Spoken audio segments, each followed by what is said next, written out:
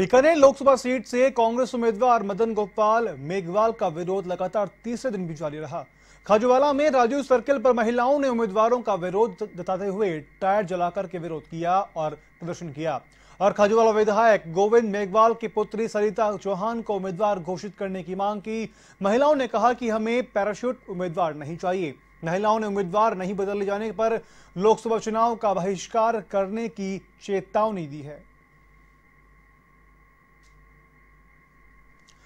कांग्रेस उम्मीदवार मदन गोपाल का विरोध लगातार जारी है। महिलाएँ वहाँ पर विरोध कर रही हैं। टायर जलाकर के वहाँ पर महिलाओं ने विरोध प्रदर्शन किया है। विधायक पुत्री को उन्होंने टिकट देने की मांग की है।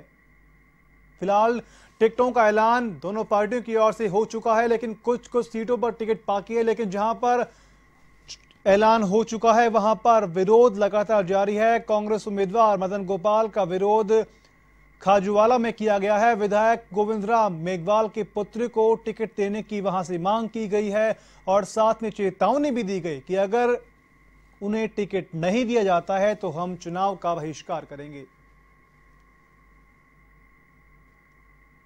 देश और दुनिया की हर छोटी बड़ी खबर के लिए सब्सक्राइब करें एवन टीवी न्यूज़ साथ ही बेल आइकन को प्रेस करें ताकि आप पा सकें ताज़ा खबरों की नोटिफिकेशन।